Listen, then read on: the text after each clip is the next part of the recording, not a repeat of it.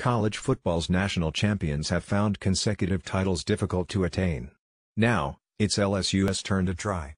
To view the full article, click the first link in the description below.